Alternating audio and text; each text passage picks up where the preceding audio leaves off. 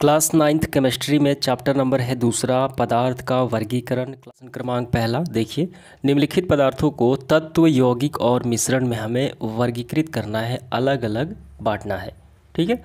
तो पहला देखिए क्या है, सबसे पहले हम तत्व को बांटेंगे। जस्ता क्या है? जस्ता एक तत्व है, ठीक है? जस्ता क्या है? तत्व है। कैसे जस्ता तत्व है? जेडन यानी जस्ता एक प्रकार के पदार्थ से बना हुआ है, इसमें कोई अन्य पदार्थ शामिल नहीं है।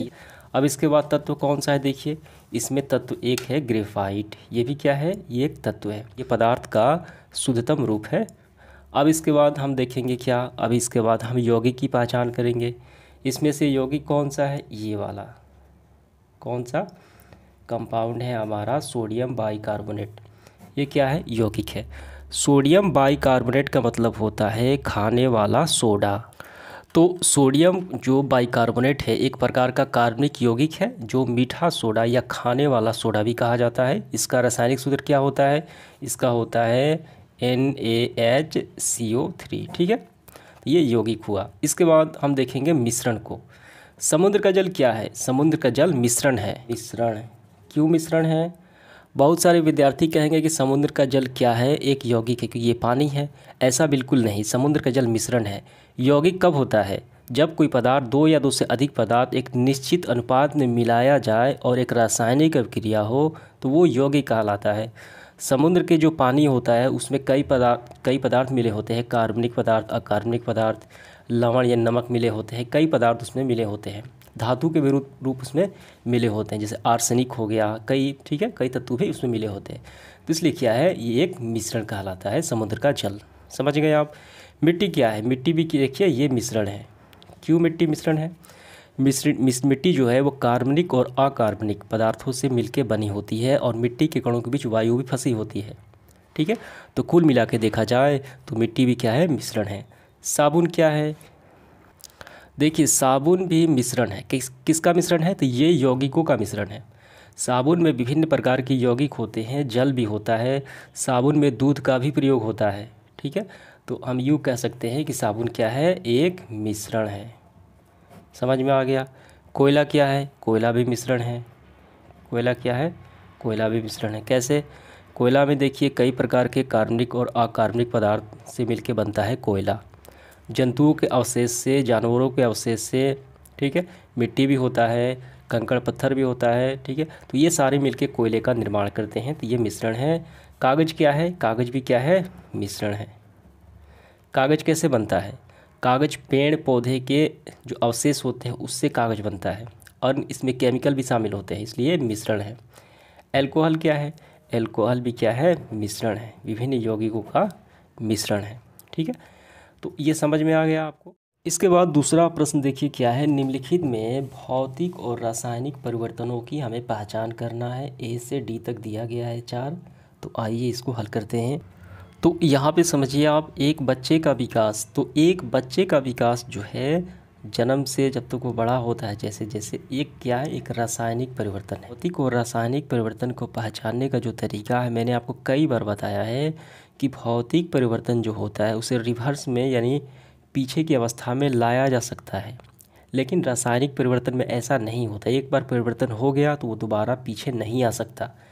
एक बच्चे का विकास अगर हो गया तो दोबारा बच्चा छोटा नहीं हो सकता है। तो बच्चे का विकास देखा जाए तो ये क्या है? एक रासायनिक परिवर्तन होता है। दूध का दही बनना। तो ये क्या है? इलेक्ट्रोबेसिलस जीवाणु होते हैं, जिसमें क्या होता है? अम्ल होता है।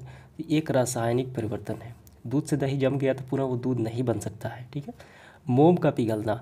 मोम का पिघलना देखिए भौतिक परिवर्तन है। कैसे? मोम जब पिघलता है तो वो द्रव अवस्था में होता है और सूख जाता है तो पूरा ठोस अवस्था यानी मोम में बदल जाता है। तो पीछे की अवस्था में लाया जा सकता है। तो ये भौतिक अवस्था हो गई। लकड़ी का जलना। तो जलना यानी दहन जो है वो एक रासायनिक परिवर्तन है। रासायनिक अभिक्रिया जिसमें ऑक्सीजन की आवश्यकता होती है तो लकड़ी का जलना जो है एक रासायनिक परिवर्तन है। ठीक है? तो समझ गए आप? लकड़ी एक बार जल गया तो दोबारा लकड़ी तो नहीं बन सकता, नहीं प्राप्त कर सकते, उसकी अवस्था को नहीं प्राप्त कर सकते तो उम्मीद करता हूँ ये आपको समझ में आ गया होगा। इसके बाद प्रश्न क्रमांक तीसरा देखिए, तत्व और यौगिक में हमें दो अंतर बताना है। तो देखिए यहाँ पे तत्व वह पदार्थ है जिसे दो या दो से अधिक विभिन्न पदार्थों में विभाजित नहीं किया जा सकता है। एक ही पदार्थ के शुद्ध जो शुद्ध रूप होता है, वो तत्व कहलाता है। यौगिक को रासायनिक विधि द्वारा दो या दो से अधिक विभिन्न गुण वाले पदार्थों में विभक्त किया जा सकता है। जैसे जल को देखिए। जल को अगर हम तोड़ना चाहें तो रासायनिक विधि से हम अलग कर सकते हैं, ठीक है? हाइड्रोजन और ऑक्सीजन को। लेकिन तत्व में ऐसा नहीं होता। दूसरा अंतर लिखना है, तत्व एक ही प्रकार के परमाणुओं से बना होता है। यौगिक में विभिन्न प्रकार के परमाणु होते हैं। क्यों होते हैं? क्योंकि इसमें ये दो या दो से अधिक पदार्थों से मिलकर बना। इसके बाद देखिए प्रश्न क्रमांक चार क्या है? मिश्रण के किन्हीं दो गुणों को हमें लिखना है। तो बड़ा ही सिंपल सा सवाल है, मिश्रण के गुण। देखिए, पहला गुण क्या है? और इसी तरीके से देखिए, टोटल गुण जो है, वो चार गुण है। तो इसमें से आपको बस दो ही लिखना है। मिश्रण के गुण निम्नलिखित है। पहला है, मिश्रण समांग या विसमांग हो सकता है। पहला गुण हो गया। अब इसके बाद जो आसान लगे आपको आप इसे लिख लीजिए।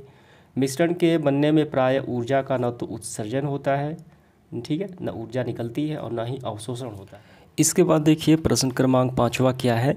विलय और विलायक में क्या अंतर है? तो आइए इसको थोड़ा सा हम लोग समझ लेते हैं। देखिए, ये एक पात्र है, एक पात्र में क्या है? जल रखा हुआ है और इसमें चीनी हम डाल देते हैं। तो चीनी क्या है? चीनी विलय है, ठीक है? और ये जल क्या है? ये विलायक है। तो विलायक किसको घुला लेता है? तो चीनी को घुला लेता है, ठीक है? और ये पूरा हो गया विलियन। चीनी हो गया विलय, पानी हो गया विलायक, विलय को घुलाने वाला, और ये पूरा पदार्थ कहलाता है विलियन, ठीक है? तो हमें विलय और विलायक में अंतर बताना है। तो इस तरीके से आपको लिखना है, विलय और विलायक में अंतर, जो पदार्थ में खुलकर विलियन बन, बनता है। पूरा विलियन का निर्माण होता है, जो पदार्थ, जो घुलने वाला, वो विलय कहलाते जैसे चीनी हो गया जबकि विलायक में किसी पदार्थ को खुलाया जाता है, जो विलय को खुला लेता है तो उस द्रव का विलायक कहा जाता है, ठीक है, जैसे इसके बाद प्रश्न क्रमांक छः, देखिए क्या है, आप कैसे समझते हैं कि ऑक्सीजन एक तत्व है, ठीक है? यानी पदार्थ का एक शुद्धतम रूप है, ऑक्सीजन, ये प्रमाणित करना है तत्व का। ऑक्सीजन एक तत्व है तो ये प्रमाण आपको लिखना है दूसरा। जब शुद्ध ऑक्सीजन की अभिक्रिया शुद्ध हाइड्रोजन के साथ कराई जाती है तो सिर्फ़ जल बनता है। अगर ये दोनों शुद्ध नहीं होते तो जल का निर्माण नहीं होता तो ये क्या प्रमाणित होता है? कि ऑक्सीजन शुद्ध है, ठीक है?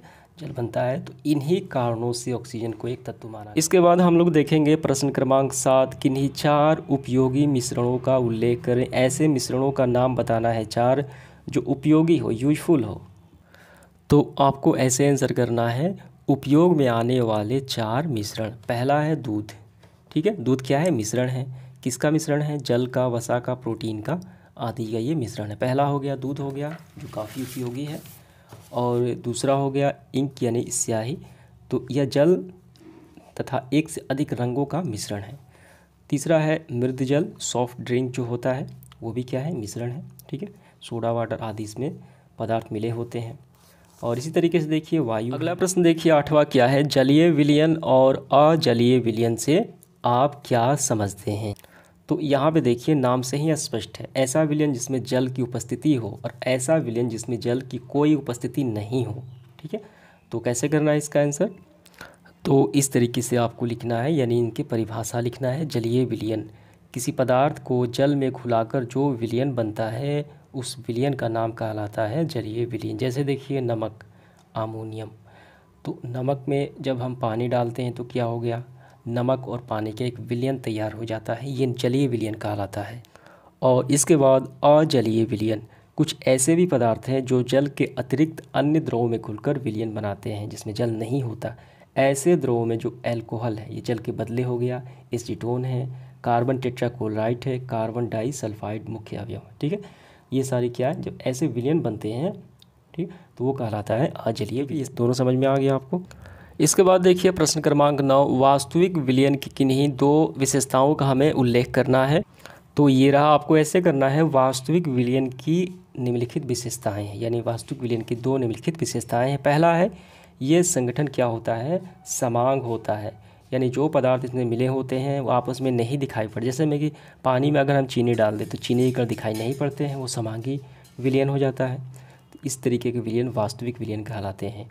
दूसरा, ये छन्ना पत्र से आर पार जा सकता है। चीनी पानी में अगर चीनी डाल दें तो छाने, अगर हम छाने भी तो तो चीनी नहीं उसमें से निकल सकता है, ठीक है? तो इसी तरीके से देखिए सारे गुण हैं। इसके बाद देखिए, दस नंबर प्रश्न क्या है? असंतृप्त विलियन से क्या समझते हैं?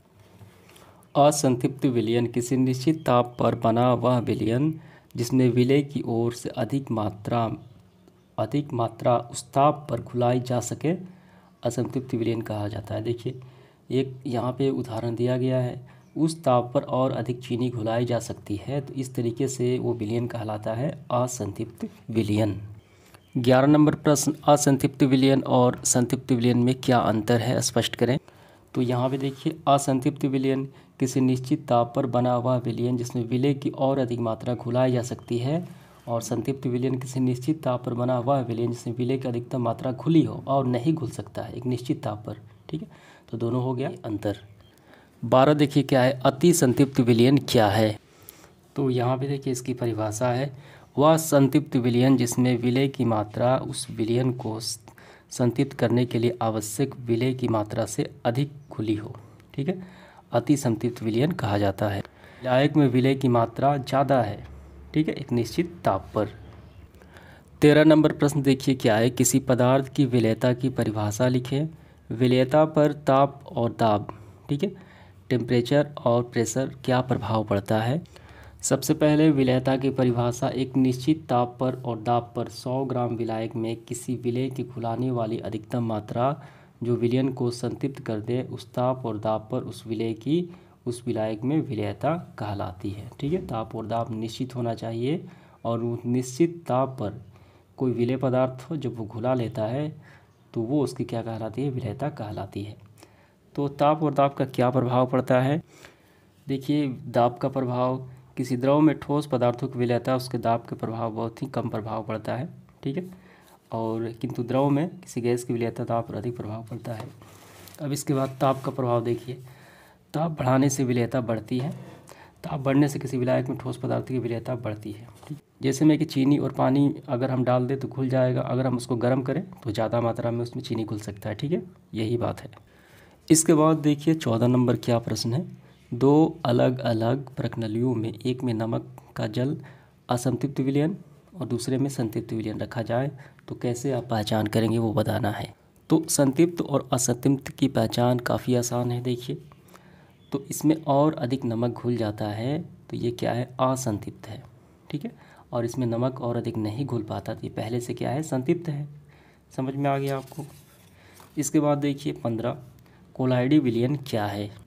तो हमें इस तरीके से लिखना है, विलियन की ऐसी अवस्था जिसमें विलय के कणों का आकार वास्तविक विलियन और निलंबन के क्या होता है? मध्य में होता है, यानी उनके मध्य, बराबर होता है।